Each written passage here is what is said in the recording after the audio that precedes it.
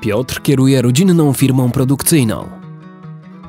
Zakład założył jego dziadek, potem prowadził ojciec, a teraz Piotr go dalej rozwija. Właśnie podpisał nowy duży kontrakt.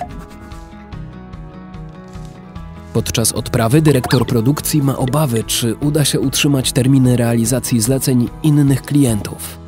Postanawiają zrobić wszystko, co możliwe, żeby maksymalnie wykorzystać park maszynowy i dostarczyć zamówienia na czas.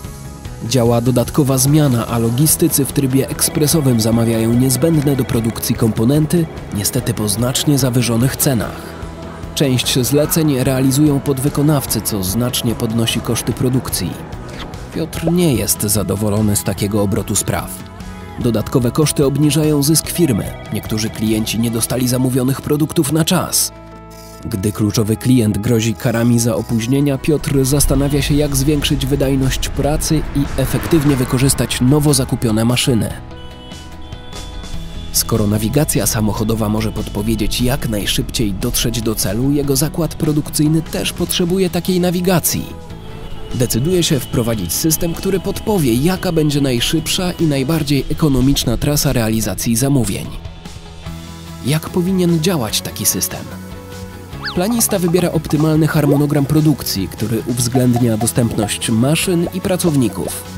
Operatorzy produkcji wiedzą dokładnie, jaką operację mają wykonać i w jakiej kolejności. Na bieżąco przesyłane są meldunki o postępie pracy.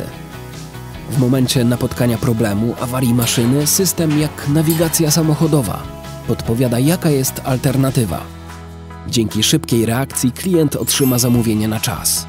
Piotr na bieżąco analizuje wskaźniki wydajności produkcji i maksymalnie wykorzystuje potencjał parku maszynowego. Dzięki wiarygodnym informacjom bez obaw podejmuje decyzje dotyczące przyszłości firmy. Wie, że w biznesie potrzeba odwagi, żeby iść do przodu.